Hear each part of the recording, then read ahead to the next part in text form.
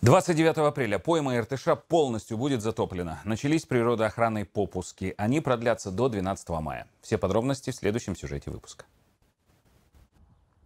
График ежегодных природоохранных попусков и Шульбинского водохранилища Восточно-Казахстанской области утвержден. Уже сегодня в РТШ прибыло. Основной поток по расчетным данным придется на период с 19 апреля по 7 мая. Добегание волны в течение 10 дней. Если мы будем брать э, от 19 числа основной объем сбросов, то будем прибавлять 10 дней. К 29 числу уже будет полное затопление поймы. Затопление поймы планируется также по ориентировочным расчетам на 85%, что также составляет, как и 2018 год.